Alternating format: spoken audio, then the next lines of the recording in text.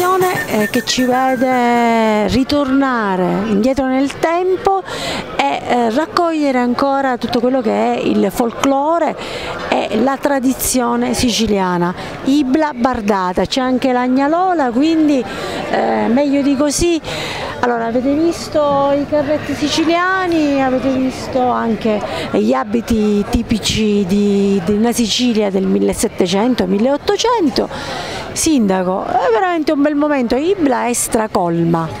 Sì, un'iniziativa riuscitissima, dobbiamo ringraziare i commercianti, il centro commerciale naturale Antica Ibla, sono stati loro a organizzare, noi abbiamo dato un supporto, ma davvero un'atmosfera speciale oggi, tanta gente, molti giovani, anziani, gente che ha voglia di divertirsi, ma soprattutto un'atmosfera veramente magica, in mezzo a carretti dei decenni e secoli passati eh, sembrava veramente di stare in un altro mondo, però tutto con eh, raffinatezza, grande eleganza, compostezza, eh, attori bravi, musicisti, davvero un pomeriggio speciale questo di Ibla. Da ripetere sicuramente, per quello che riguarda noi lo siamo assolutamente d'accordo, magari chissà è la prima edizione di una lunga serie, alle volte succedono a Ragusa queste cose, si parte con, così per provare alcune cose e poi diventano seriali, si vede che funzionano e vanno bene. Io credo che questo tipo di evento funziona a presa sulla gente, attira persone. Alla gente piace e quindi... Alla gente piace, Ibla piena, le strutture hanno lavorato tutto, insomma, Beh, diciamo al primo ottobre che non è scontato che succeda. Esatto quindi certamente un'iniziativa un da ripetere. Non so se posso sentire anche l'Agnalola che appunto cioè, veste... È stata soprannominata. È stata, ecco, l'abbiamo voluto chiamare così perché appunto parlavamo di compare Turiddu, di cavalleria rusticana,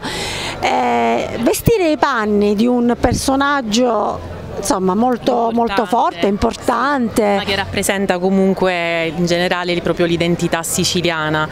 Infatti quest'abito è stato realizzato a mano da Loredana, quindi è manifattura artigianale perché proprio siamo in tema eh, con l'artigianato che era anche questa la volontà del, del, festival di riportare in auge le antiche tradizioni che oggi si stanno perdendo e di far rivivere quindi la Sicilia di un tempo ai visitatori di, di oggi.